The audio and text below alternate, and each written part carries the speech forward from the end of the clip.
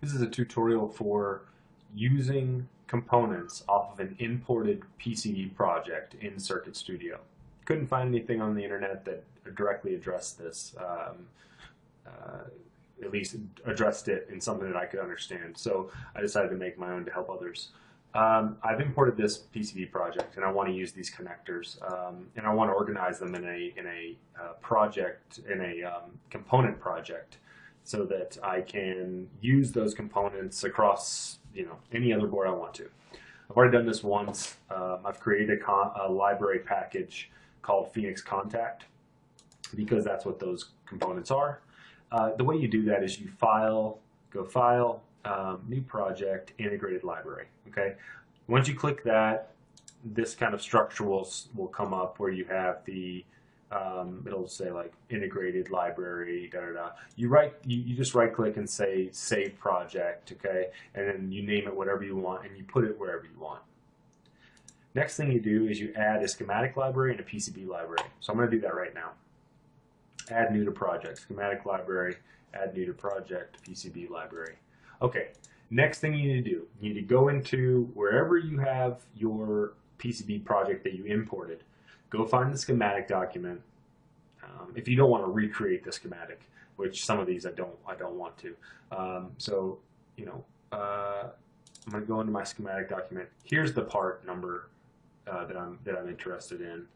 Um, I'm going to copy this, okay, and then I'm going to go to the schematic library that I created underneath my component or my uh, my um, integrated library go to, to go to the schematic library, and then you know you're gonna first first kind of you know thought is oh I'll just click in the screen here and then Control V. Well, doesn't work. You need to go click this little tab here, SCH library. Click the tab. Then you're brought into this window. Now you can copy. Now you can click paste. Okay. And you'll notice there's a component underscore one here. I just delete that. I don't know if I'm not supposed to. I, I have no idea, but that's what I've been doing thus far, and everything seems to be okay. Um, I'm going to adjust this length of this guy so that it can accommodate some larger pin definitions. I'm going to uh, rename this stuff. Okay, I'm gonna. This is just what I'm wanting to do. Um, I would recommend um, deleting the footprint that's here. Uh, at least for me, uh, these footprints are referencing locations that um, aren't uh, available to the um, CircuitStudio, to, to however I have the default setup. Uh, it can't find this stuff. Um, so um, I'm just deleting the footprints. Um, edit the pins. I want these to be just you know generic. You'll probably have your own setup there. Okay, I'm happy with this schematic library. Uh, so I'm going to click save and I'm going to save it as the part number and I'm going to save it underneath a folder that I you know that I have set up for Phoenix contact uh, connectors. Save. Yes, I want to replace it. Okay. Next is the footprint. So I'm going to go back to my projects tab, click this guy. Okay, so now I'm ready to put a footprint down here, okay? I'm going to copy the footprint off of the PCB document. So here's the PCB document. I'm going to click or right click, copy, and then you have to click on the component, okay? And then I'm going to come back to my PCB and I'm going to paste it. Okay, and you'll see my cursor is kind of in the middle or whatever. It's it's not a very good setup right here. Like I can't move this very well. So I'm just going to try and center that um, I'm going to rotate it here and try and center this guy on the pin. Okay. All right, so I have my my connector placed in the footprint. I'm going to check everything, make sure everything's good. Okay, things look okay. I'm going to save this as the part name. one nine three five one eight seven. Okay, good deal. Now you go into the PCB library. You'll notice the name is not the part number. I'm going to change that. 1935187. And I'm going to put the description here just for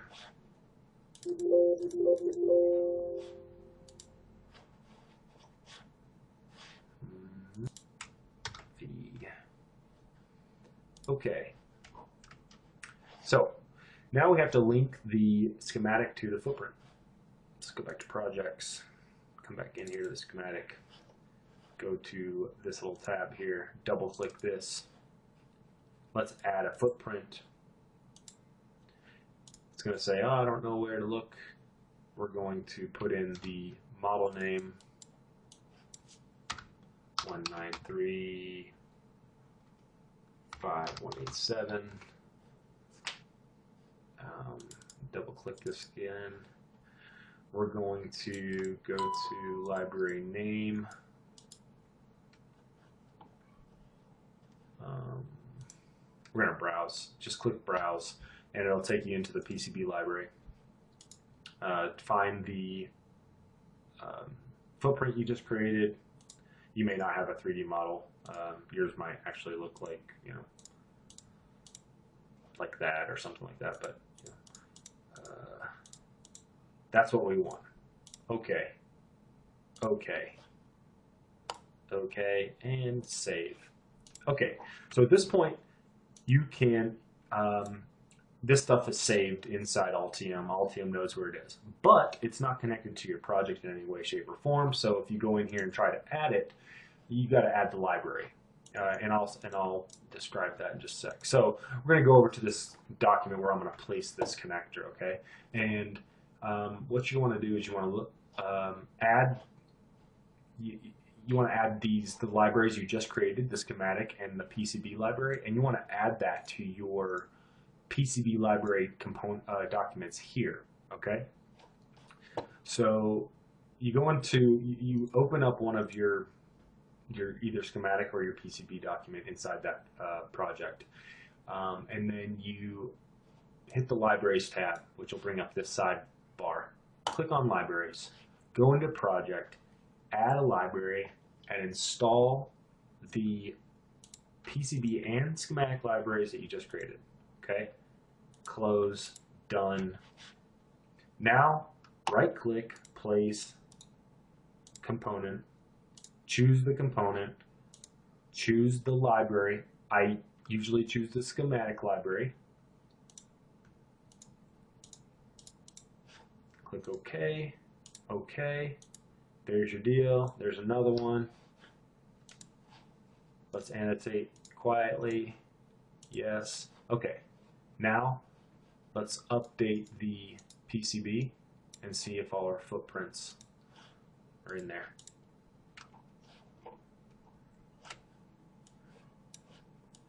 And they are not, well, they are in there, but you can see I linked the incorrect footprint because I probably chose the wrong library because the part numbers are relatively similar.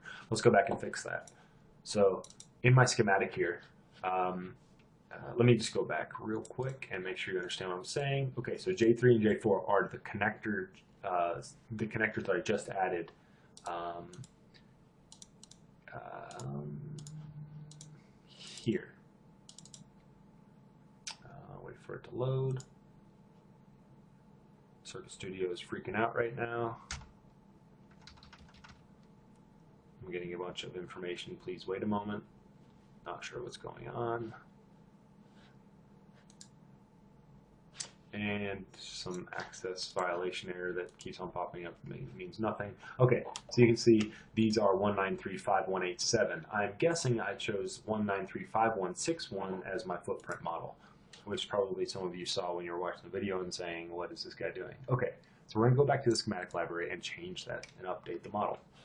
Go back to this little SCH library, right-click this guy, or I'm sorry, double-click that guy, remove this footprint. Sure enough, I had the wrong um, part name, remove this guy, add a footprint, and we're going to browse, and we're going to go to not one or 5161, we're going to go to 5187.